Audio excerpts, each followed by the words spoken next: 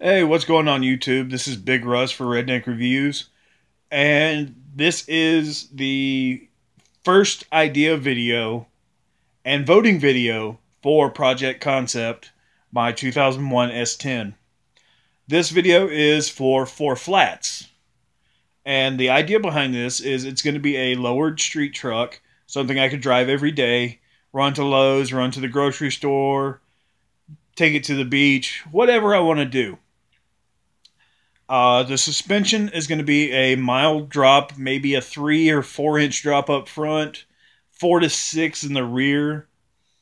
Uh, debating between 18s, 20s, and then a staggered fitment with 18s up front, 20s in the back.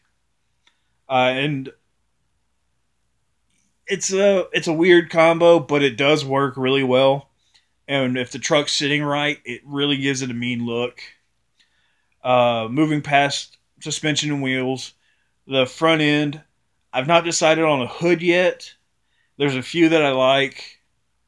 Um, the front bumper, I, as you saw, I've got to do a whole front end on my truck.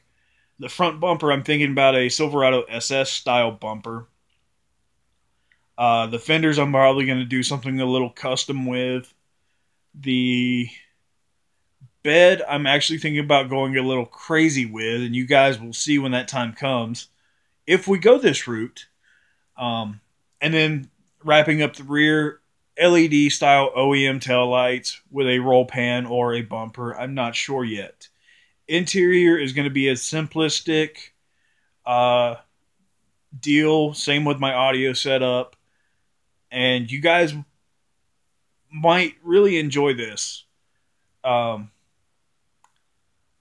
that being said, if you like this idea, click the like button and leave me a comment. If you think this is a dumb idea, leave me a comment. I'm not going to jump on your case. I promise. I'm not one of these YouTube guys that, oh, you said something I don't like.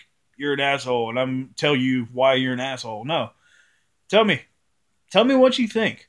If you think this is a good idea, if you think this is a dumb idea. Remember, I live in North Carolina. I really don't have to deal with harsh winters. Like last year, it rained all winter. It didn't drop below 50. This year, it's middle of, or it's the beginning of October or November, and it's 70 degrees today. Um, so yeah, that's the whole idea behind this truck. Uh, let me know what you think, and I will uh, take it from there.